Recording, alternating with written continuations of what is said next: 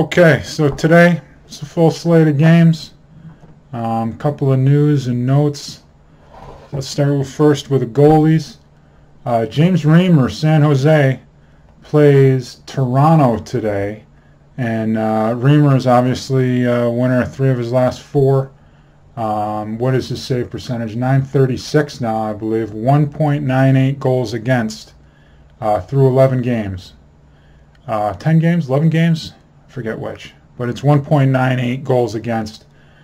But he, he actually only allowed a goal against Toronto, um, or Toronto, against Carolina on the 22nd.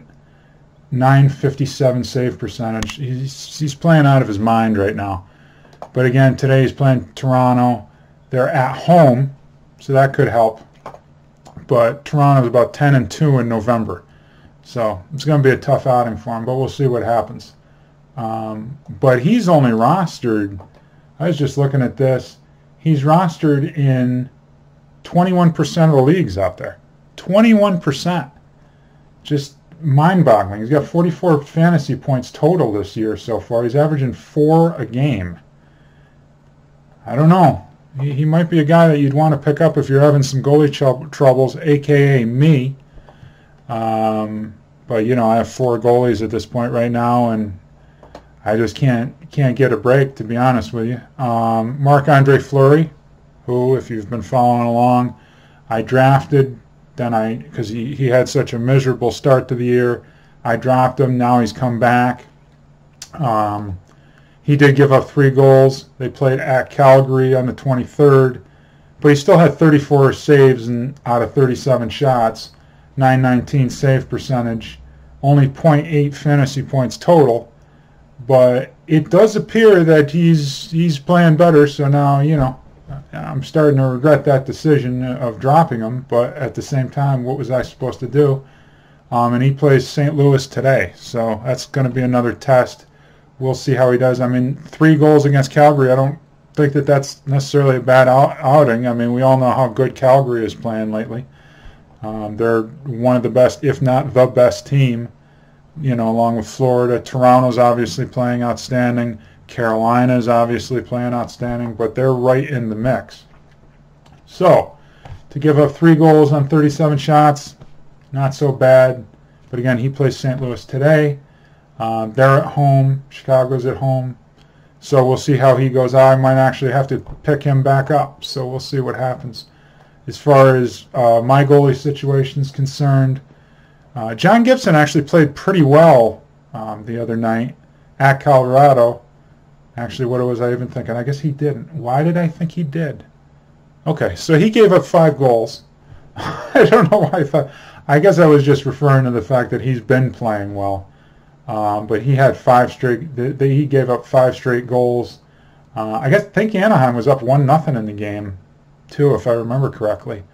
And then Colorado just blitzed them. So five goals on 36 shots, minus 3.8 fantasy points. So nothing to write home about. But he still does have 53.6 on the year and 16 uh, starts. I think that ranks him top five out of the goalies. And he's only rostered in two-thirds of the leagues out there. So this is another guy, if, if you see him on the free agent wire, hey, why not give him a shot, pick him up. That's what I did. Um, and I had him for what did I have him for? I had him for, I believe I had him for the Carolina Nashville game. I'm pretty sure I had him for the Nashville game. I don't remember if I actually played him against Carolina or not. Um, but it is on one of the other videos, so you can check it out because I don't even remember at this point. But he only gave up two goals against Carolina, two goals against Washington in his previous outings, three against Nashville. You know, he did give up the five um, the other night there on the 24th, so we'll see what happens. He hasn't been doing great the last three starts, but he hasn't won the last three starts. So that's part of the problem. And speaking of winning, Edmonton wins again. So Mikko Koskinen gets 2.8 fantasy points total with the win. But wins are four. So he had an 889 save percentage, three goals against, 24 saves. So his stats look okay. You know, he's got, what, 39 fantasy points. He's top 15 in the league. So they, you know, they look pretty good. but his goals against is 2.97. Save percentage is barely over 90. Not so not so hot, especially the goals against. I mean, his goals against about three a game. Not so great, and that was at Arizona. So that's one of the reasons I started him. You know, he's at, he's at Arizona. I mean, come on.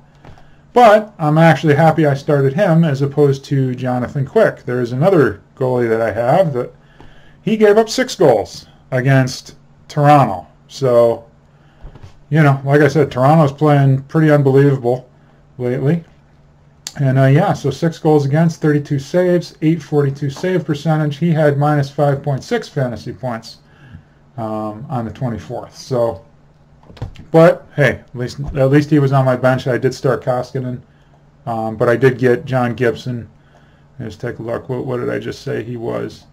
Um, yeah, let's see if we can do that.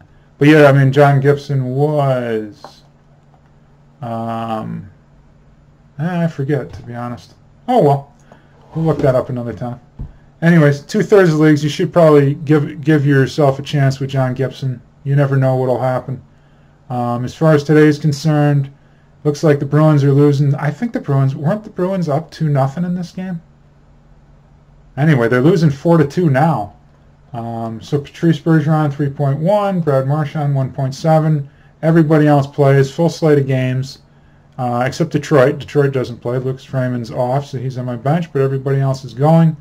So I have Jordan Binnington and John Gibson starting in goal, and uh, everybody else is uh, going to go to town tonight. So we'll see what happens. Um, so should be exciting. In first by 16 points, I believe. I have no idea how that's possible, considering uh, the goalie situation. I'm about last, and just about every goalie statistic there was.